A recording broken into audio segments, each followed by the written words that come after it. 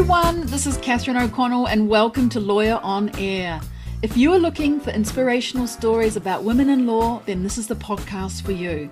Join me and my lawyer ladies as we enjoy a glass of wine after a hard day at work and talk about the world of women in law. It's my passion to share stories of amazing legal ladies who are working as in house legal counsel, who have law firm roles, who are leading on boards, and who are doing law differently. From time to time, I will also invite special guests on the show to share their insights on legal recruiting and tips for getting hired as a successful lawyer in Japan. I hope you will enjoy getting to know these amazing women who I am so proud to share a profession with. I'm glad you're here and I hope you enjoy the show. Hi, everyone. Welcome to another episode of the Lawyer on Air podcast. In this podcast episode, I will share with you another diverse story of a woman lawyer working in Japan. I'm Catherine, the host of the show, and I'm a lawyer based in Tokyo for 20 years. I love helping unlock the wisdom of the stories that women lawyers never tell. What I've learned in my career in law so far is when you meet good people, be it your client or your boss, hold on to them and build a solid network with them. Those are the words of Yui Ota-Barclay, who is my guest today on the Lawyer on Air podcast. Yui is an associate at Norton Rose Fulbright based in Tokyo. She's a transactions lawyer, admitted in New York, and she speaks with a little bit of a British accent. She specializes in asset finance with a focus on the shipping and energy sectors. Yui will be telling us about how she was raised in Yokohama, spent one year in Colorado, US, and graduated then from Keio University and took a Master's of Law at Georgetown University in Washington, D.C. You can check out Yui's full bio in the show notes. On this episode, Yui shares with us how she viewed being different and a minority in the US as a positive thing, because that meant that others asked her curious questions instead of her having to go and find the courage and be the one to take the first step. She also shares how showing your vulnerabilities is truly important for all people to enable us to flourish. If we only see the successful people on Instagram or in law journal articles, we can't relate to them if we ourselves have stumbled or failed. Yui challenges more lawyers to show their vulnerable side, to empower others, but also make yourself relatable and to stand in failure as your power and strength. You'll also hear how Yui is making the change to a diverse and inclusive future in the area where she lives. And every time she gives out her business card to someone who doesn't want to give their business card to her. This is a very interesting story, and thank you, Yui, for sharing it. She also shares her hot tips on food, travel, and a book and a podcast that she loves, as well as other fun facts. Well, here goes, and let's get into it. Hello, Yui, and welcome to the show. Hi, Catherine. Thank you very much for having me today. It's a great pleasure. Oh, I'm so glad you're here. And, you know, we're at the uh, wine bar, a place where we might choose to go. So if we were meeting up today in person for uh, drinks, where would we be? Do you have a, a favorite wine bar or restaurant or cafe that you like to go to, Yui? And what would be your choice of beverage off the menu today? Okay, so I have two places in mind, but if this were a weekday evening catch up at a bar, then I would choose this bar in Akasaka called Barney. And I choose this place because one, I can't drink alcohol and I also am allergic to tobacco or smoking. So this Barney is um, no smoking place, and then the bartender and owner Hashi-san, he makes the best mocktails I would say in, in entire Japan. So whether you love alcohol or you can't drink, either way, you will have the best time. Oh, that sounds really nice. I, I find it very hard to find a place that doesn't just try to ply you with alcohol. Exactly. And of course, I love a wine. I love a glass of wine, but also it's really nice to go to a place that has mocktails. Yeah. What kind of mocktail do you like? I like mocktails using the seasonal fruits. So I do not go to Barney, you know, thinking about anything particular. I just show up and then ask the bartender to just, you know, can you make me something with the seasonal fruit? And just that's it. And then just see what he offers. Ooh, I love that. Is yuzu what what season is yuzu? Because that's one of my favorites. I think yuzu, I mean, correct me if I'm wrong. I thought yuzu was often used towards like the winter. Yeah, autumn, winter, isn't it? I think. Yeah, that's yeah. what I thought. So roundabout now, I see there's, you know, we're coming into cherry blossom season time, and I have seen quite a few sakura cherry blossom cocktails and mocktails around. Is that something that perhaps Hashi-san would deliver up for you now? Then. Probably. Um, yeah, personally, I have not had that before, but yeah, why not just um, ask for it and then Hashi-san would just um, make the magic happen exactly. to any request. Exactly. Oh, that sounds fun. Try yeah. that. I, would love to hear back from you what happened with Hashi-san and the seasonal drink that he might be serving up for you now. That's so cool. Well, Yui, let's go back a little bit further into your earlier days when you were a child or perhaps a young adult. What kinds of careers were you thinking of or dreaming up at that time? I was thinking of being a teacher. I was thinking of being an air hostess. I, oh, was right. thinking, I was thinking of working in a bookshop. I loved the smell of ink and paper. Those were my fantasies. So when I was younger, I have to be honest, I just not really have any particular like occupation or jobs that I really wanted to be. I think it's partially because I was in this really strict um, school environment where I was always focusing on studies and exams that were just coming up one after the other. And so I just didn't really have anything special in mind.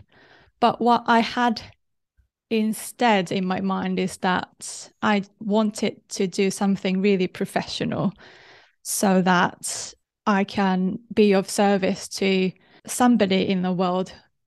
It doesn't have to be a big big client or big population, but I just want it to be helpful to somebody. So that was sort of a big goal I had when I was younger.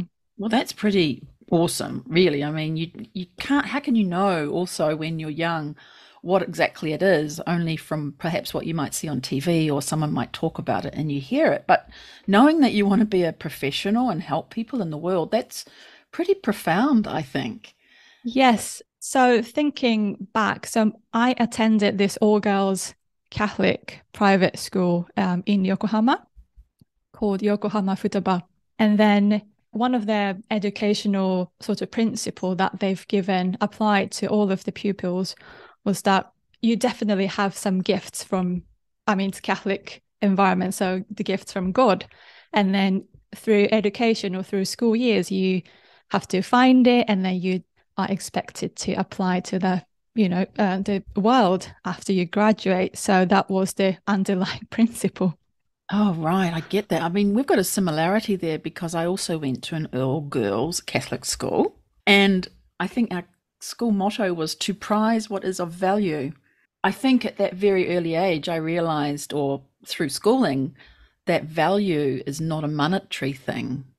It's precisely something else. And then you don't even really know what it is. You just know that it's not at all about money, that value comes in different ways. And I think that's without really thinking about it until you just sort of said that and made me think about my own early days at my school that that was really where it's all come from right? The value the value that we both are now having yes. by speaking about our earlier days and what we feel and live as lawyers in Japan. So that's very interesting. You brought that up for me. Thank you very much. My pleasure. So what then? You were at the school in Yokohama, but you didn't stay there. I think you also went on a trip to the US. Yes, that's right. So when I was in year nine, I was, in a sense, getting a little bit bored of attending the same school for nine years straight. Mm. And then I saw a couple of, of older students, what we call senpais, mm. in Japanese, going off to America or Canada or sometimes Finland using certain exchange programs. And having seen that, I just thought, okay, that seems interesting. So I want to do that. And I also have been seeing my father taking many business trips overseas. So I really wanted to see what it is like, what the life is like outside Japan um, with my own eyes. So I talked to my parents and also to um, to the teachers at school whether there was any way for me to join that program, and then found a way, and then did go to Colorado, United States, for one year. In my case, it was this organization called AFS. Yes, I've heard of it. Yeah. Yes, so they arrange um, high school students do this exchange program all over the world. And wow. then I apply with essays and CV. After that, I take um, we take certain exams, which is more like a kind of common common sense exams across all subjects. And then after that, interview and just find out you whether you make it or not. So you you had your time in the States. What was that like? It must have been so different to Japan. Yes, it was very different. First of all, I attended a co-ed school, public oh, high yeah. school. Well, quite different. So that is quite different. and the other big difference is that at that time, which is 2004 to 2005, Colorado's Asian population was just 2%, which is virtually no Asians. Mm. And I remember I was only two or three agent students out of um, the school of probably a thousand mm. students. So it was a very different environment compared to that Catholic all girls school environment. Yeah. What do you remember then from those days? Did you just did you feel special? Did you feel too different? Did it make you want to do more to blend in? What was the kind of feelings going around then? So, because there was virtually no Asian population, I did not stand out in a strange way. They just thought that I was just somebody who just moved to Colorado like a month ago. And at first, of course, my English was not great, but people talked to me because I looked different and asked all the questions about Japan, but also interesting about China, which I don't know much of. But because of that, I was able to make friends right away. Because they asked questions, I didn't have to summon the courage to talk to them. They came it. to me. I get it. Yes. So in that sense, I got lucky. Right. And then because I'm quite by nature talkative, I want to talk and I love chatting with my friends, I just could not bear not talking. So that really made me speak English on a daily basis with friends at school. And also, the other aspects of the exchange year is that I ended up living with this wonderful host family for a year. And they helped me demystify the American school system the, or the high school daily lives. And then they talked to me every day. They treated me as if I was one of the family members. So I had great help from both the school friends and also the host family. Fantastic. I mean, I love how you said it was really lucky to be different. I don't think I've heard anyone say that before, especially on the podcast here. I think sometimes standing out and being different can feel quite awkward. It's sort of really interesting that you've made it like a place that you can embrace where people came up to you and it was a a strength that you didn't have to think about approaching others. It all came to you and how interesting that is to think about that and pause because that's that's my daily life as well. In Japan is that I am different. So people ask me curious questions and I hadn't thought about it in that way before that it's a lucky thing. Thank you for that. That's really inspiring and very interesting Yes, um, but I think some of the friends who ended up, for example, in California, where there is a big Asian population, they seem to have had different experience. So I may have felt lucky because I was one of the only Asians in the school. but whereas for them, they are part of the big minority groups. So I think that had really um, different impacts on our on our experience as exchange student. Mm, I get that too. And, you know, you talked about your initial thoughts of being a professional, wanting to be a professional who was in service of someone in the world. Did you find that strengthened while you were in the States? Did it make it something that you really knew that you wanted to do? I'm just wondering here where the law part starts to come into your life, because I know you do return to Japan and do law, right? So, Where's that coming up? What's that bit of that story for you? So law actually came in after I have come back to Japan. Right. So okay. after spending one year in Colorado, I came back to the same school in Yokohama. So that was 2005 summer. And after that, the infamous competition and then the study period for university entrance exam started. And I was talking to my parents which university or which departments to apply. And their advice at the time was that because I am a woman, their advice was for me to have sort of professional qualification because that would enable me to sort of take a leave from work at some point for whatever reason, for example, giving birth to a child.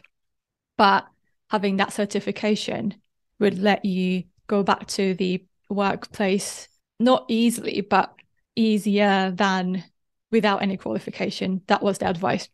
So I thought about okay, so what kind of qualification or certification could I get? And from there, it was more of an elimination process, I have to say. I was not good at maths, so I couldn't be a CPA. And I also was not good at all the scientific subjects. So um, the the medical doctors gone out the window.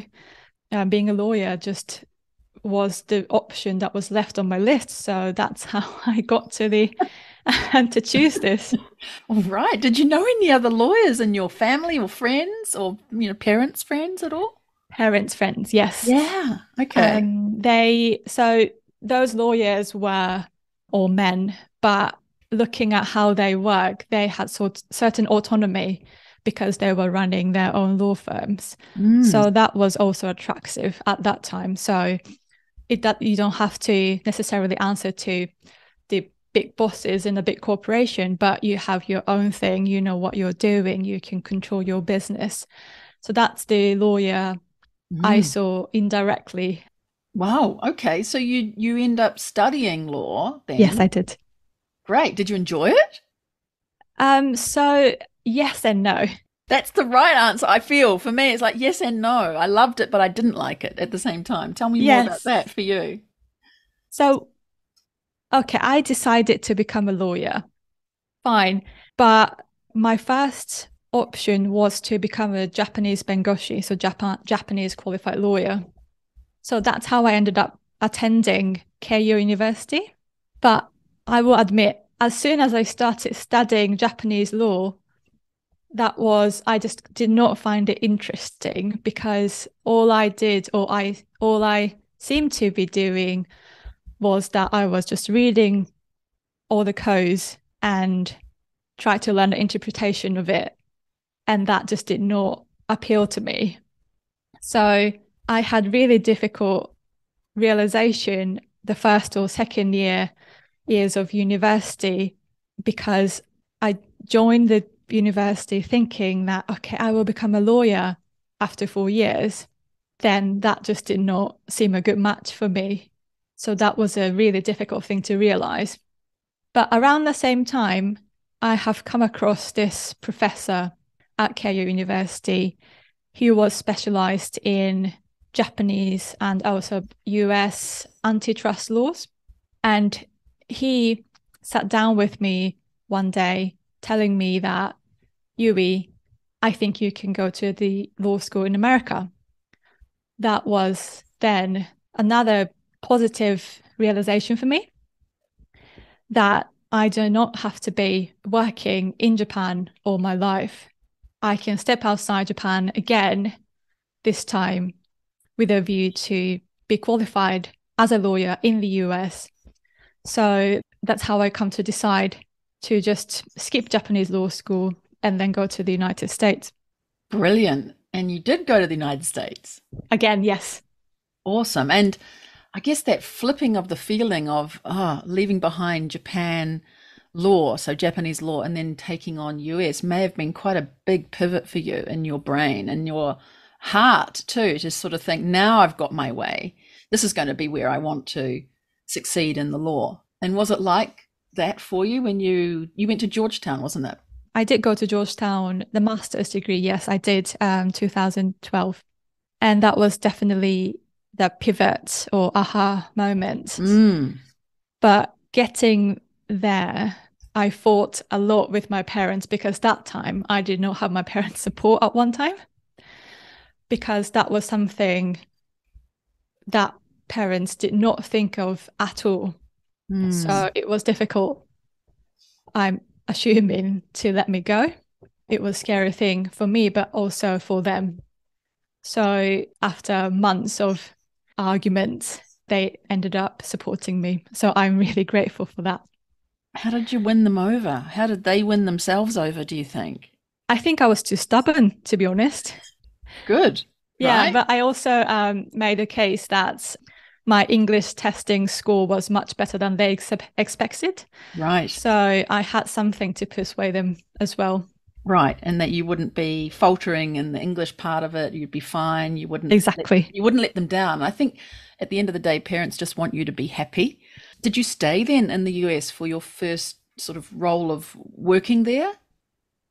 Yes, but it was only for a short internship. So it was only four or five years after that big financial crisis of 2008 and the legal job market had not fully recovered. Mm. So even American students were sometimes having difficulties landing with a job, especially private practice in the East Coast didn't really have many roles to give away for foreigners. Mm. And of course, I didn't have any green card or any sort of visa. So I did not really make it, it even to interviews. So I struggled with that for a few months while I was doing the internship at Federal Trade Commission. But after all, I made up my mind to just go back to Japan. But in the meantime, this recruiter found me by chance on LinkedIn, and he was the one who connected me to Norton Rose Fulbright, where I am now today. And then, so just when, as I was making up my mind to go back to Japan, things started to fall into pieces. So when you were starting to come back to Japan, things started to, the pieces came together. Yes, exactly. Yeah. How interesting, right? When you think something's not going right with your Japanese law, you head off to the States and things come right. And then you are leaving your law studies and you're at the US Federal Trade Commission and it's okay, but it's a difficult time because America's going through a difficult time as well. And then someone finds you and you go into another good channel. Yes. How interesting that your life has gone like that. And then you find yourself coming over here to this great office of Norton Rose Fulbright. And what year was that? 2014. So who was here at that time? How did you get that job? You must have been in the US still. Did you interview in Japan or in, in the States or a bit of both? So I only had the interviews after I have come back to Japan. Right. I had, I think, two or three interviews Yeah. with the then um, head of office. Yeah, and then it just happened after two or three months. So after that recruiter found me on LinkedIn, things happened quite quickly. How amazing, right? Because uh, some people say recruiters are all over LinkedIn and you know don't don't go there, but look at that. Look what happened to you, and that it, it was really really great that someone found you and chose you. Why did they introduce you to that office? What was it about you? Do you think that was attractive for the firm here? One thing I can immediately think of is, of course, my language skills. So I speak um, Japanese, which is my native tongue, and I speak English um, at the professional level. So that was obviously an appeal to them. And then the secondly, the year I joined Norton Rose was 2014, but the year before that, Norton Rose had merged with an American firm called Fulbright and Jaworski. So they were open to adding US qualified lawyer. So I just happened to appear on their doorstep at the right time. Timing is everything. Yes, Wow. Yes. So again, I got lucky. There you go. Uh, but from those early days, what's been your journey from then till now? So the first time I joined in 2014, it was difficult because unlike English solicitors, the US law lawyers, US qualified lawyers do not have the formal training years. So I, I joined Norton Rose without any proper training. So I was a proper um, baby lawyer, did not have any clue what was going on at first. So that was a that was a real challenge. And also I have to say I so as a result I joined Norton Rose at first as a paralegal. And then so that I could start building up my skills. And then at first I was doing corporate M&A work and also antitrust work for the first a year or so.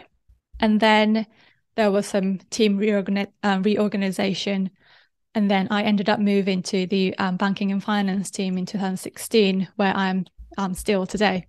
So I have had quite a not straight um, straight line career progression. I experienced various different things um, before landing this banking and finance practice where I'm focusing today. And, you know, most people would think, Yui went to the States. Why has she not got an American accent? But here you are with this British accent I can hear. So you spent some time in the UK, in Europe, correct? Uh, yes and no. So bef- Yes and no. well, right now the answer is yes, but when I got the British accent, I had never lived in the UK. oh, I see. Interesting. Yes. So when I moved to the banking and finance practice team at Norton Rose Tokyo, they assigned me to sit with this partner who with whom I still work. And he's this British gentleman. And he just decided decided to train me so that I speak British English. See. And now I just it's come out. I just went along. sure. Why not? and because English is, after all, my second language, it's easier to adjust or like it. adapt. So that's how I ended up getting uh, speaking like this and just end up confusing people everywhere I go. You do. but in a nice way. I love it. All right. But you did actually go then to London and they would have thought, well, here she is already well Yes. versed in the English that we like to speak in England, right? Yeah. So yeah, I got asked whether I grew up in Berkshire a couple Oh, of times. Goodness me. Sometimes I just went along for a while as a joke, but um,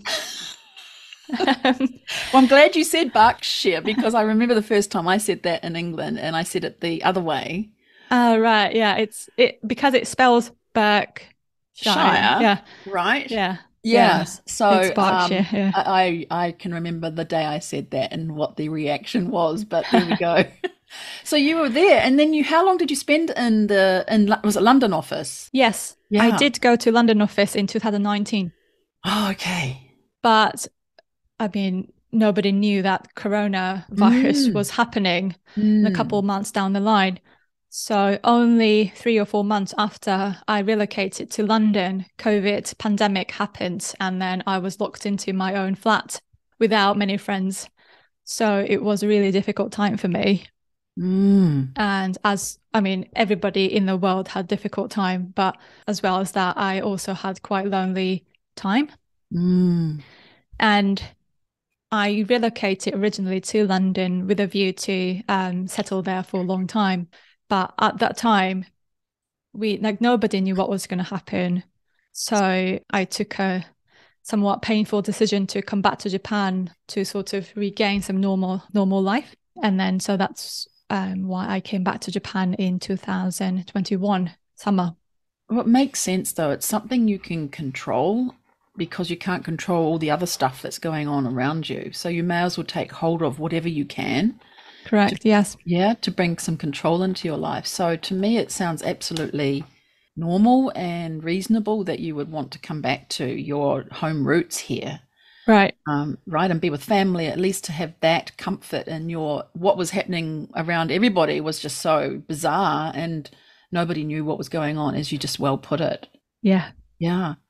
So you came back here, and now you're you're working in the office, uh, and I guess also doing remote work. But what do you love about the work that you're doing now? Is it fulfilling that original idea, you know, of being professional and being of service to people?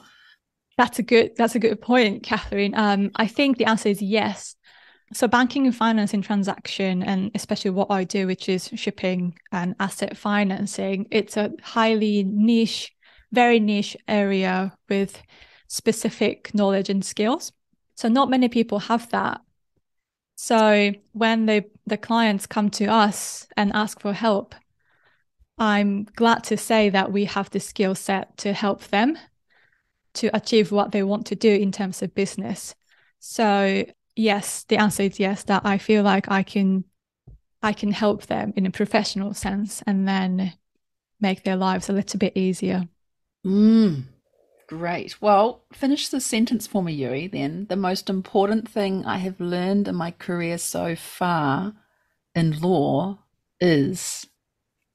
So, one thing I have learned from my career in law so far is that when you meet a good person, whether that is a client or boss or colleague of yours, hold on to them and build your solid personal network with them. Ooh, tell me more about that. Yeah, so just to explain that a little bit further, as Catherine was you were saying at the beginning of this recording, something success is not necessarily monetary. So it's not how big of a transaction you did.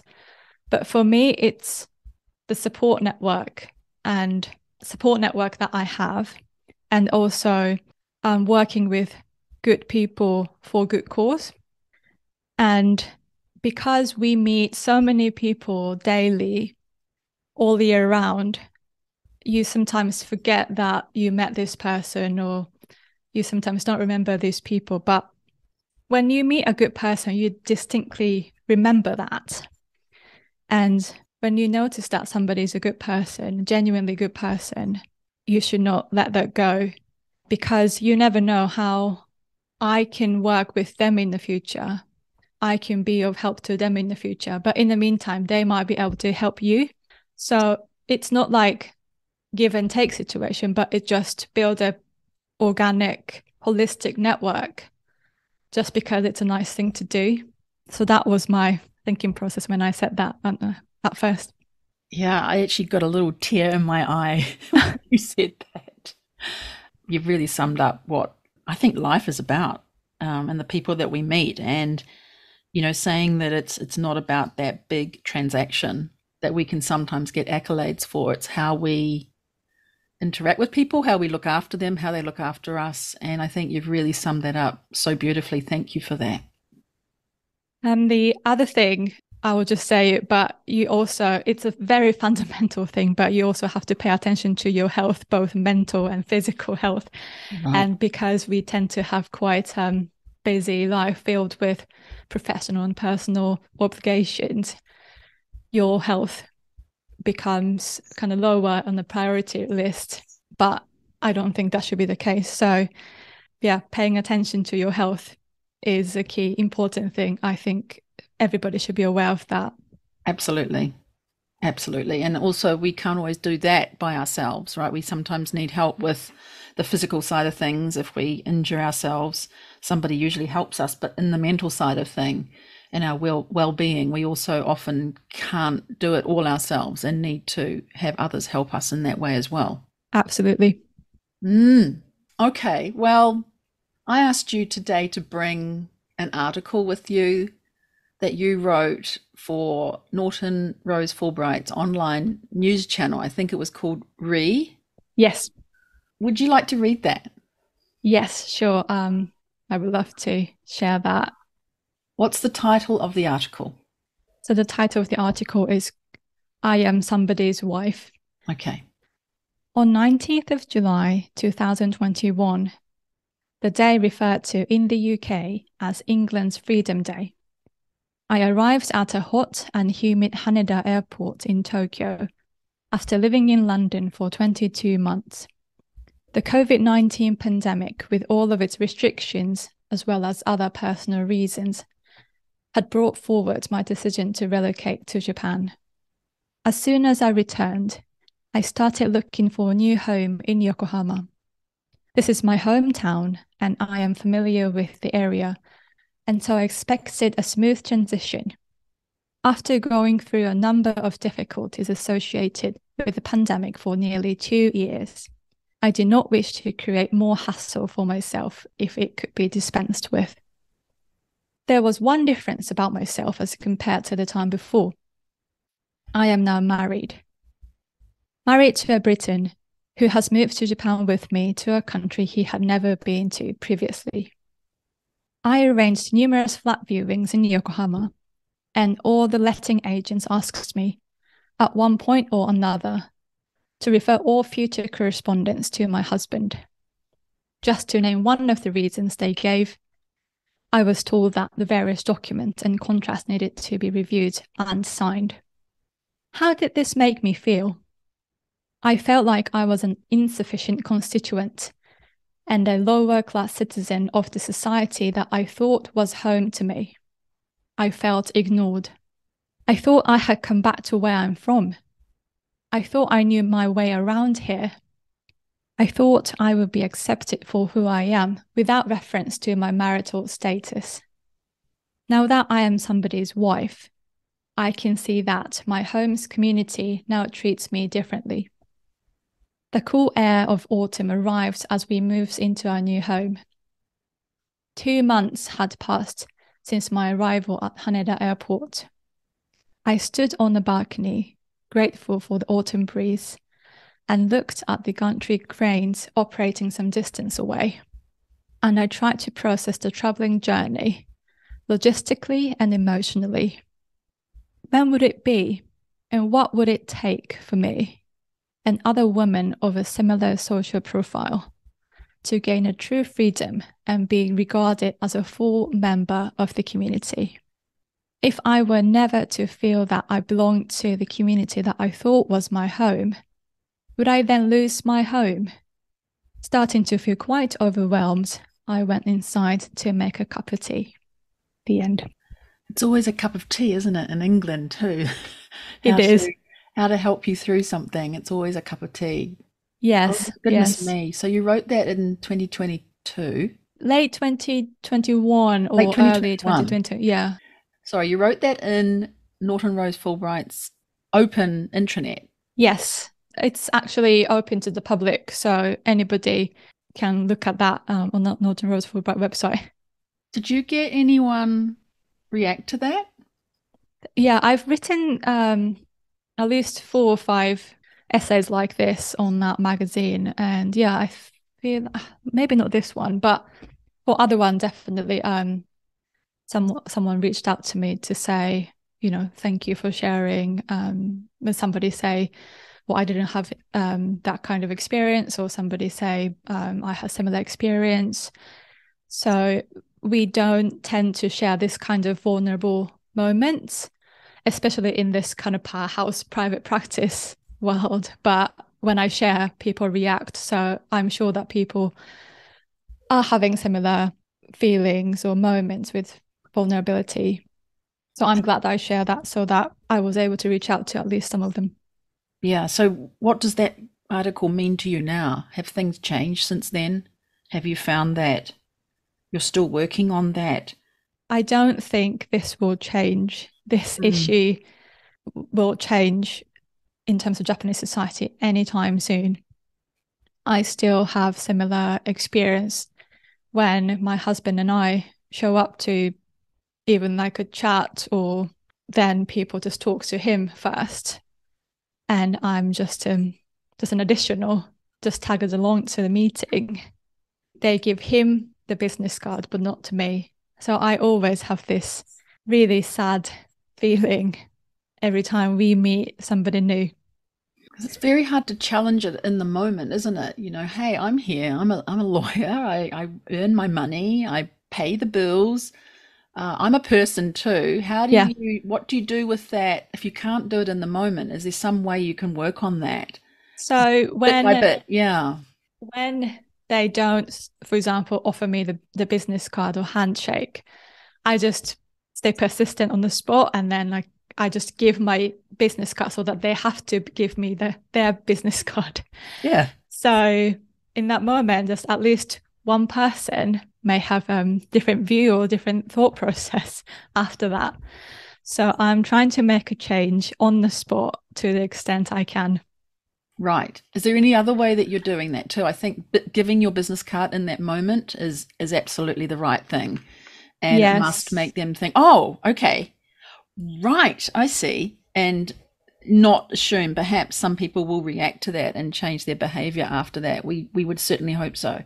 How else are you doing that? Because I know one thing I wanted to talk to you about was this pamphlet you got in the in the mail as well. And I think that ties into you declaring and trying to change things.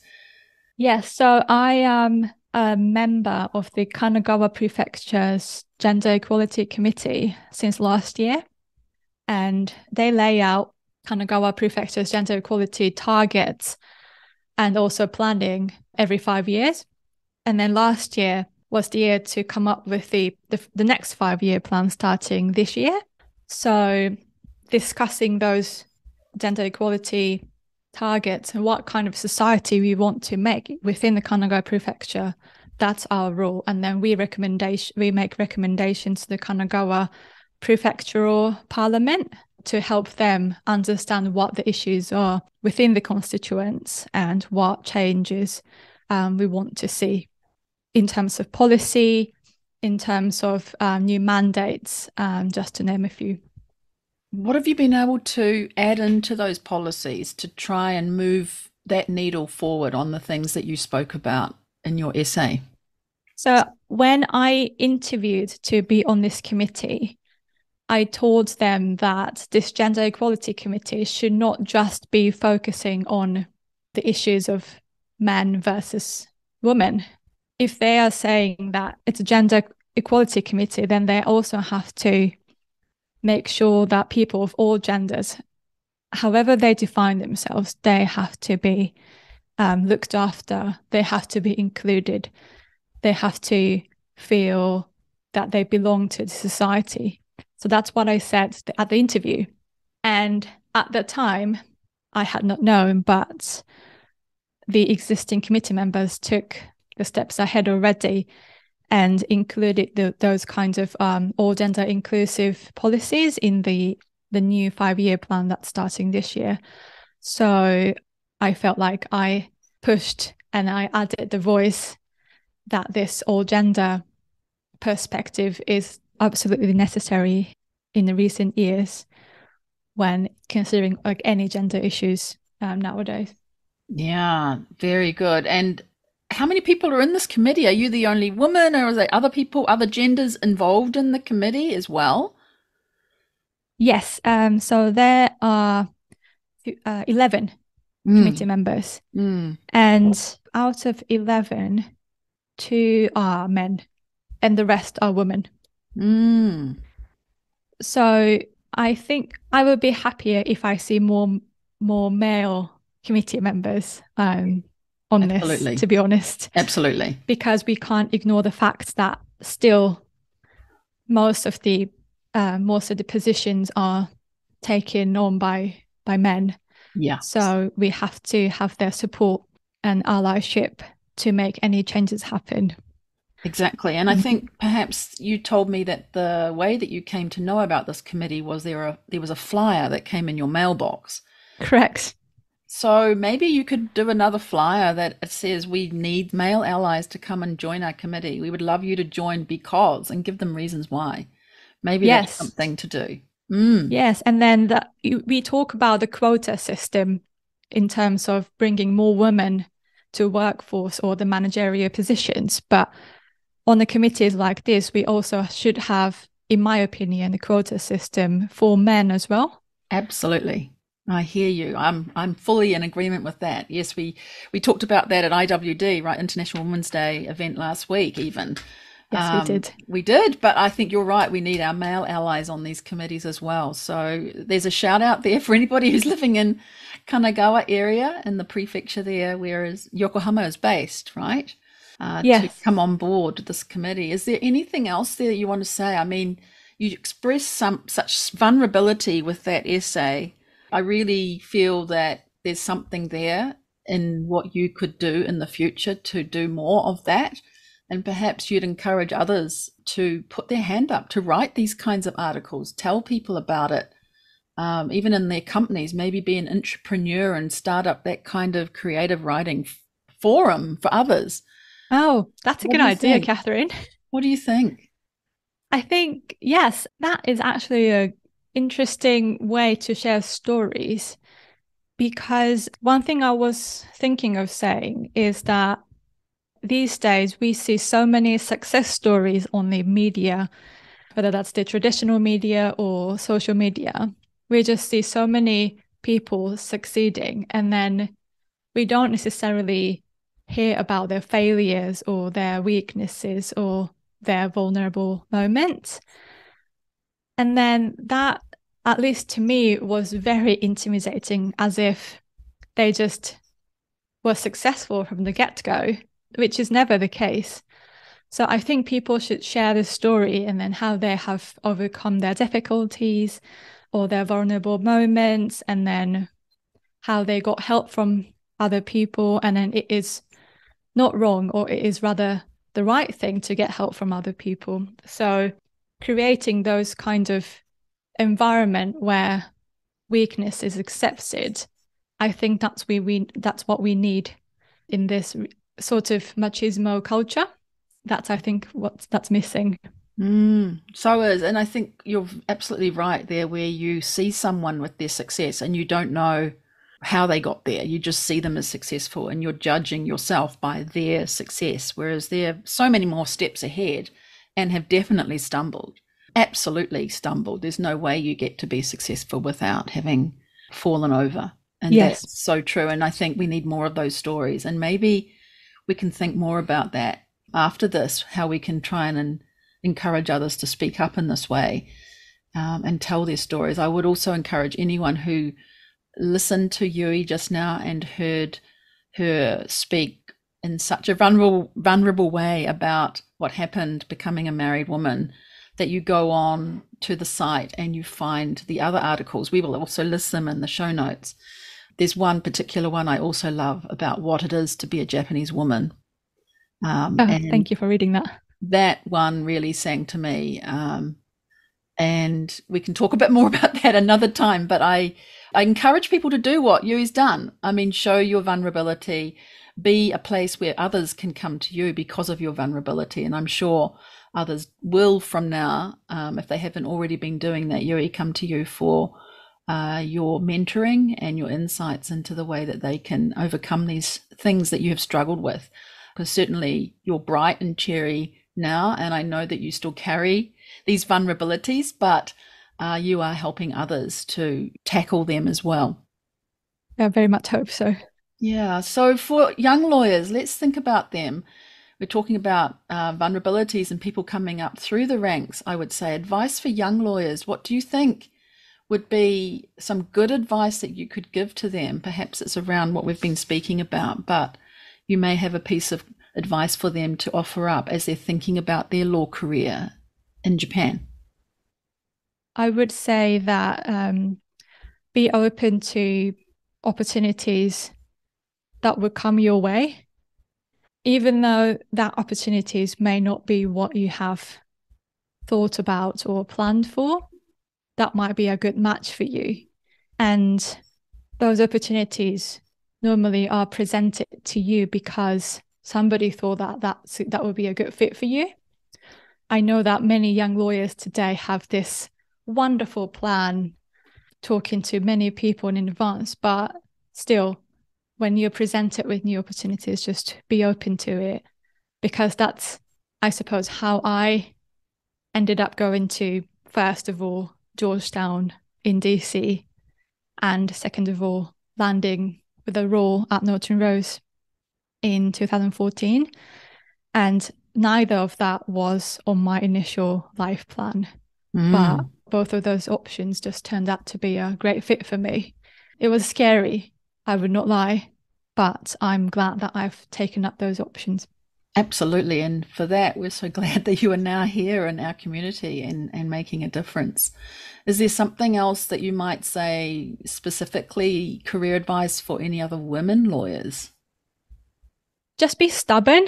Like um, like me presenting my business card to those who are not giving them to me first. Just keep offering your business cards. I am a strong believer in the small actions. So giving one business card to one person just in front of you, it's just a small action. And then probably it won't make any difference today or tomorrow. But you never know how it will pan out. Maybe that person has a daughter, and then maybe that person will think differently about daughter's career in the future. So uh, some people, I think, call it a butterfly effect, but just be persistent, keep keep making small changes, whether or not that would result in anything big anytime soon. That I think I would I would be happy if anybody joins me in that. Yay! Yes, indeed. And the other day when we were at that event together, there were three people who did not have a business card, Yui. And right. They said they were an exchange student or they were still only, only a law student. You know, the word only or just should be eradicated from our language. Uh, and I said, no, just go and get one made. Just put your name on it. Tell people who you are and have something to give to others to tell them and have them remember you. I, I said, go and do that. That's your mission for the next week is to go and get some cards. Yeah. Uh, yeah, be stubborn. I am a law student. I'm studying this. I'm a future lawyer. Why don't write that on your card? And someone said, Oh, can I do that? I said, You can do anything. yeah. future lawyer, right? Imagine receiving a card with that on it. You'd be just, you'd never forget that person. So exactly. Be stubborn. I love it. Well, let's wind down with a, just a, a few questions on a lighter note. Uh, to wind up the episode. So, one question I have for you is what's your favorite Japanese food and where could I get it from in Tokyo? Oh, my. Ah, oh, gosh. I don't know what my Japanese favorite Japanese food is. Ah, oh, come on. oh, but I put this um, on one of my the Norton Rose Re magazine article, Eating Out in Yokohama and Tokyo. But there is this really old um, rice cracker or senbei store in, I think that was in Ueno. Mm. And oh my, their appearance is just as if they just reappeared through a time machine. It's really old, small, but once you go in, they have, I think, not hundreds, but they have so many different kinds of rice crackers. And then they somehow managed not to raise their price. So Ooh. you can get really nice Lovely. rice crackers for, for example, like 50 yen or something. It's just Goodness amazing. Me. Amazing. Sounds amazing. Yeah, I'd love to go there.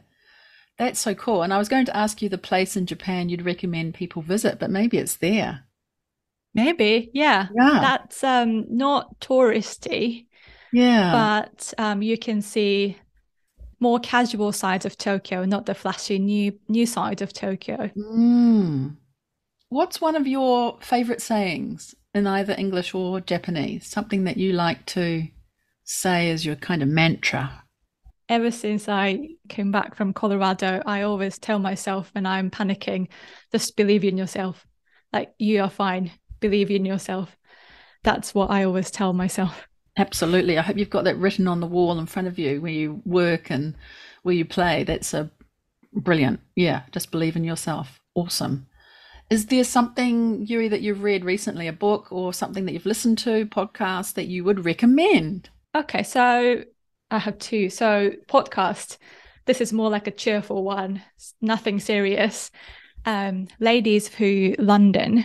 This is a podcast run by two of the London Blue Badge tourist guys. And they share really interesting historical hi- history and anecdotes, oftentimes focusing on um, female figure and focusing on various historical sites in London or wider England. This is a very um, light-hearted but very well put podcast. Love it. I've written it down. It's on my list. Yes, and the uh, the book that I'm reading right now is called Woman and Family in Contemporary Japan. This book explains how woman and also mother's role is um, expected to work out, and then what role a mother is expected to play within the family and also within this um, the society. This book explains that first from the historical point of view, and then second through various interviews with I think about 110 women. It's interesting to look at that from a foreigner's perspective because I think it's written by an American lady, American professor. Mm. So it's very interesting to see that um, how that's perceived by so-called Western eyes. Awesome. We'll put that into the show notes as well. That sounds like something to put on my very big growing list of books. And last question is something about you that a lot of people don't know. Okay, I'm just going to come out and say it. I am um, not ashamed Arashi fan. Do you know Arashi, Catherine? I do. Didn't they disband? They're the band, boy band. Yui. Yeah. Um, they they are on hiatus right now. Um, are. but I have been yes, they, I have been their fan for more than half my life. I mean, yes, this is this is one like another different aspect of me, people. So, And I know you like running marathons too, which is just astounding. So, right? oh yeah, I don't do marathons, but yeah, I Oh, I run I, I run as long as uh, half marathons. Oh, it's half marathons. Okay, Yes, so yeah. two of those together is a marathon, though. Yes, yes. But I last year, uh, in the year 2022, I ran a total of 1,015 kilometers um, across the year, and then which is worth 24 marathons. Yeah. Have you ever run to an Arashi concert? No, Maybe that's a thing to do in the future. maybe. Oh, that's so awesome. Well, Yui, we've come to the end of our chat today. I've really enjoyed having you on the Lawyer on Air podcast. Thank you so much. And it's been just amazing to connect with you in this way. Thank you. Thank you very much for having me. It was a um, great pleasure to explore our lives again. Yes. And so, for listeners who are interested in connecting with you and learning more, can they reach out to you? Where would it be the best place to do that? Oh yes, of course. Um, please do get in touch with me via LinkedIn. Lovely. We'll put that in the show notes as well. So, for everyone listening, if you've enjoyed this episode and it's inspired you in some way, please do subscribe and also share it with someone you think would be inspired to hear the stories that Yui told us today. You can also go over to my website and leave a comment there. A voice message is also possible on my website. So, please do that. And that's all for now. For today, I will see you on the next episode. Cheers, kampai, and bye for now. Thank you so much for listening today to this episode of Lawyer on Air. I really hope that you were inspired by the story you heard and that you discovered something new about women in the law. Please subscribe to the show so that you don't miss future episodes. And if you can think of even just one person to share this episode with, that would make my day. I invite you to connect with me to talk more. Jump on over to LinkedIn or Instagram where you can find me, or send me a message via my website contact page. That's all from me today. I look forward to seeing you right here on the next episode of Lawyer on Air. Cheers, kampai, and bye for now.